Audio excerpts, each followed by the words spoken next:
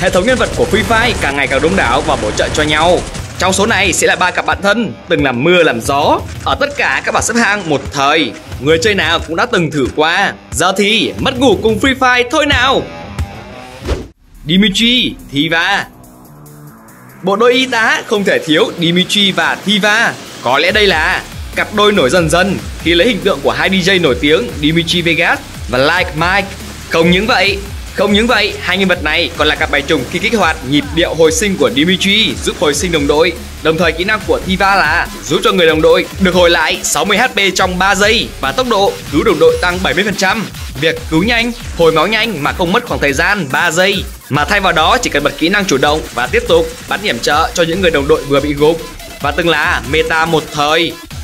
Orion và Miguel Còn nhớ khi ngày đầu tiên Orion ra mắt và nhận thật nhiều ý kiến trái chiều về sức mạnh của anh chàng này.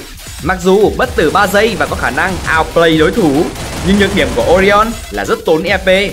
Trong các trận đấu, đặc biệt là sinh tồn, Orion không thể nào hồi và làm đầy thanh EP nhanh như trong tử chiến khi chỉ cần bỏ 200 xu Free Fire là đầy thanh.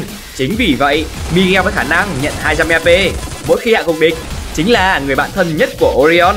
Bằng kỹ năng bổ trợ kẻ cuồng sắt của Miguel, Orion có thể liên tục sử dụng kỹ năng chủ động của mình Chính vì sự bá đạo này mà anh chàng Orion của chúng ta đã phải nhận một sự chỉnh sửa. Mỗi một lần kích hoạt sẽ sử dụng 200 EP thay vì 100 EP như khi mới ra mắt. Tuy nhiên, không thể phủ nhận được Orion và Miguel chính là cặp bay trùng và là combo dành cho những người chơi có tay to và ưa thích tạo highlight kè tim bạn. Tatsuya và Shani Kỹ năng của Tatsuya là tốc hành tức thời, được đông đảo người chơi ưa thích vì khả năng đột biến trong các pha giao tranh Cộng thêm việc mỗi khi sử dụng kỹ năng chủ động, Shani sẽ lập tức cộng 50 lá chắn cho bản thân và đồng đội trong phạm vi 10m và giảm dần trong 5 giây. Tatsuya và Shani chính là các bạn thân không thể thiếu và dành cho những người chơi thích công và tiêu diệt kẻ địch do khả năng cơ động của Tatsuya và thêm một lớp giáp từ Shani gần như khiến việc hạ gục người chơi đó phải vượt qua 270 sát thương, 220 HP nếu kèm thêm phụ kiện của giáp, 50 lá chắn. Đây chính là sự khó chịu mà cặp đôi này đem lại. Cũng chính vì thế mà Tatsuya không còn khả năng lướt 3 lần nữa mà chỉ còn hai.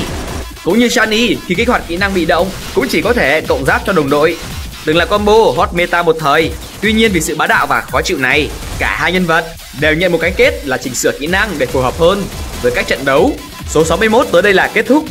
Chắc hẳn mọi người ai cũng đã từng một lần sử dụng các combo trên rồi. Bình luận thử cho admin biết các bạn đã từng dùng combo nào rồi nhé. Bây giờ thì mất ngủ cùng Free Fire thôi nào. Free Fire Ngày mai có gì? Subscribe là biết